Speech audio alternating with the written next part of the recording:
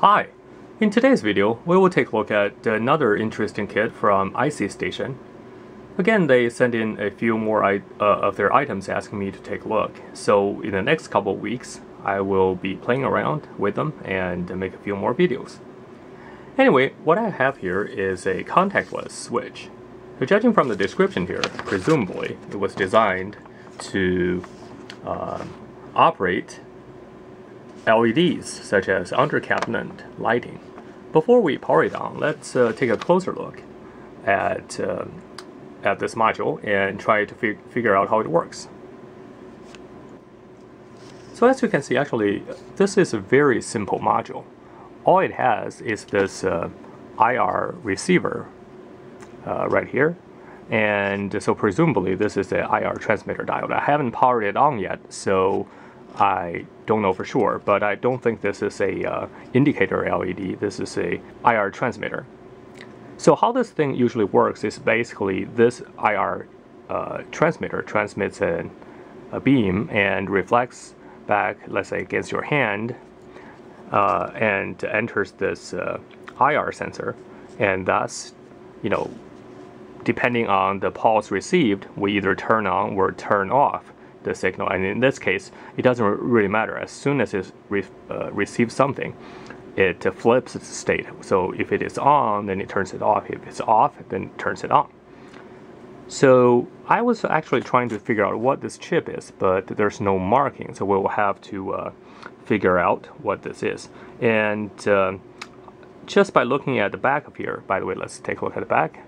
So here we have this three pin device and you probably can't see but it is M7550H so this happens to be a uh, 5 volts low dropout regulator. And uh, so judging from this regu the use of this regulator I'm assuming that this is a, probably a microcontroller. And uh, so as you can see here we have a transistor. This transistor is used to uh, power this uh, IR transmitter and um, um, to switch it on and off. So what else is here?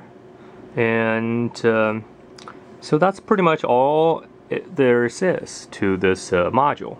Now, one thing interesting is that this module doesn't tell you which side is input, which side is output. And uh, that's one thing I generally find lacking on those uh, Chinese websites where uh, where they sell the product, but uh, the documentation is really uh, not there. So for people who have not been into electronics for very long, and it's kind of a daunting task trying to figure out how to determine the input and output, for example, uh, of this module. But um, so I think it would be definitely beneficial if uh, it provides more information on the website. Now, actually for this one, it's actually not hard to figure out. So let me just let it focus for one second. So as you can see here, we have a uh, uh, the positive side. This trace connects to the positive side. Okay, so the thing controlling whether or not the output has power is this little transistor. So it switches the ground. Uh, I'm not sure if you can see this, but this is a ground trace. Uh, actually, ground trace is at the back here.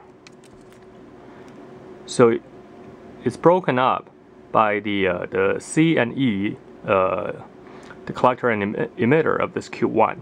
So basically Q1 serves as a switch to switch the, uh, the output um, depending on the signal received by this IR receiver. So I think that, uh, you know, just by looking at this circuit, we know that this side is input and this side is the output. So now let's uh, uh, power it up and uh, take a look. So to see how well it works, let me uh, first move it forward a little bit because I don't want it, uh, the camera to reflect the IR signal back to the uh, to the board. So let me adjust it here. And uh, for the load, I actually um, I could have just you know have a string of LEDs but uh, I have this uh, little module here. It's actually a reverse uh, avalanche oscillator. So if you don't know what that is, um, I'm going to provide the link below, and actually you can on my website, and actually can build this re relatively easily. It's just a one resistor, one capacitor, one transistor, and, and your LED. And it's uh, quite fun to, to build such a device. So what I'm going to do is I'm going to hook that up to the output. Okay, so if the power is on, you will see it blinking. And for the power input, um, this device is rated for a load of 129 watts. Now, um, I don't think it matters that much if it's a lower power rating, but uh, nevertheless, the actual power dissipation is limited by this uh, LED that switches the, uh, the load here. Okay. So now for the input, I'm going to provide a uh, 17 volt. It's rated for 7 to 18 volts, and I think that's just uh, the limitation of the uh, the actual uh, power regulator and the and the transistor itself. Now, this regulator actually is rated for input up to 33 volts, so I think it probably can handle a little bit higher input. But anyway, right now for for this particular test, let's just hook up a uh, 18 volts. So we have here, um, I have the bench supply back there, turned on and set to 18 volts. So let me turn it, hook it up here. All right, so now um, it's not blinking yet. So let's see if we can turn it on by put, placing our hands in front of the, uh, the sensor here. Wow, so you know it did work and it turned on, and which is quite nice. And let's do it again. So we turned it off. Try it again. On, off. Now I can see this uh, gonna become a little bit problematic if you you know if you just uh, put it uh, near uh, where your hands can get, and uh, you know if you just uh, start waving in front of it, it will turn on and off. It did say that there was a response time of 0.5 second. I'm not sure if it's if it's a you have to put your hands in front of there for 0.5 seconds before it react, but it doesn't seem like that. See, it's really fast and it will just uh, um, respond. But I think that's okay if it's in a under cabinet lighting uh, situation where you put it on one side of, uh, let's say, the kitchen cabinet, and uh, um, you know your hands probably doesn't really go near that area that uh, uh, that uh, often, unless you wanted to turn on and off the light. So let's see how far um, it the detection range is. So my hand right now is uh, hovering here. It's about uh, roughly 25, 30 centimeters, and it doesn't. Okay, so right there. So that's about the range it can uh, respond to my hand. So that's actually very neat. I like it. Um, you know, this is comes really in handy if uh, you, uh, which means you don't have to mount a switch for the IR uh, for your uh, LED lighting.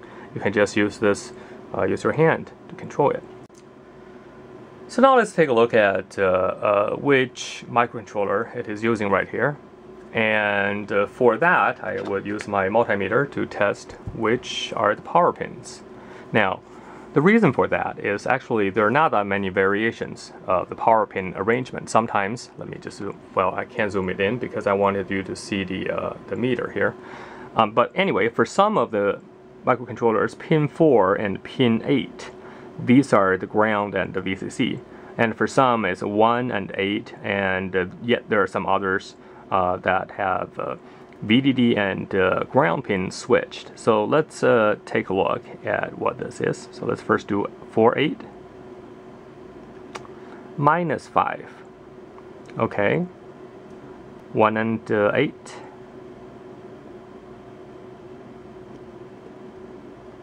minus 5. Ah, so I reckon, uh, actually, hang on just one second. So let's see here. Uh, 1 and 5. So it looks like the 8th pin is our ground. Now, for a 8 pin device, um, that looks awfully similar, well, awfully like a uh, PIC 12 series control microcontroller because in PIC 12 series, the uh, pin 8 is your ground and the pin 1 is your uh, positive power supply. So that is very uh, plausible. And uh, and by the way, the reason it was using this, uh, uh, you know, 30, either 38 kilohertz or some kind of modulated IR sensors, is that uh, it re greatly reduces noise. So, for example, if in the environment you have some other IR sources, uh, it does not accidentally trigger this uh, circuit. So only when it sees the uh, signal from this uh, transmitted modulated signal that uh, would trigger the receiving end. So for that, let's take a look uh, using a oscilloscope to probe the signal to see if it, it is like that. Okay, so now let's take a look at uh, the waveform. As I mentioned earlier, I think that uh, the IR signal is a modulated signal uh, because that is the way to, uh, to reduce the noise. So now let's take the oscilloscope and take a measurement at the uh, IR uh, output diode. Now, to do this, I will set the, the scope into a single shot mode. So basically, we just want to capture the single uh, pulse train. So we do a sweep, uh, single, and come on, single, and I would set the trigger level somewhere here so that it doesn't uh, do a false trigger. So let me see here and we can uh, let it run again.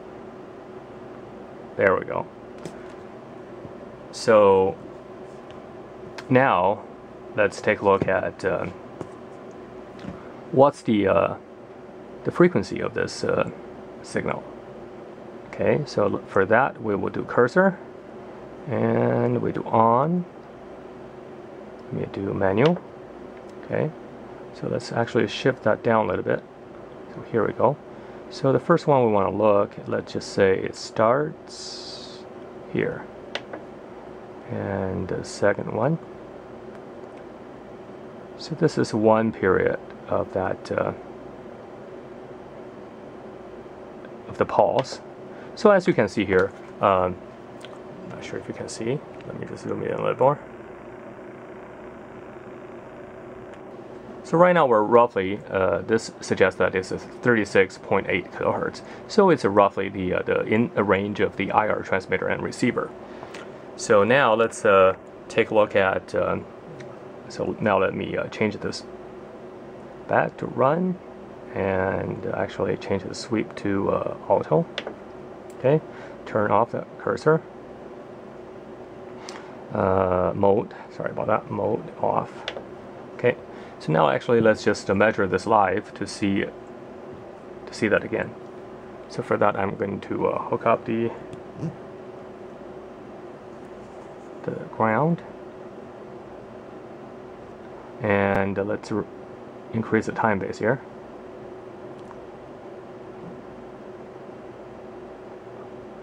So as you can see here, we have these pulse trains uh, generated.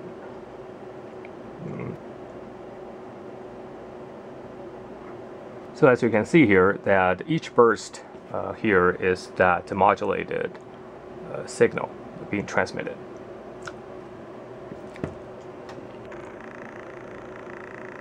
So anyway, I think this is a really neat uh, kit and uh, and it's re relatively simple and it's pretty elegant and as you can see it works actually reasonably well. So I will provide this link to this kit on IC Station's website down below in my uh, in the comment area. So I hope you enjoyed the video and it, if you did enjoy the video please give it a big thumbs up and considering subscribing to my channel. I will catch up with you next time.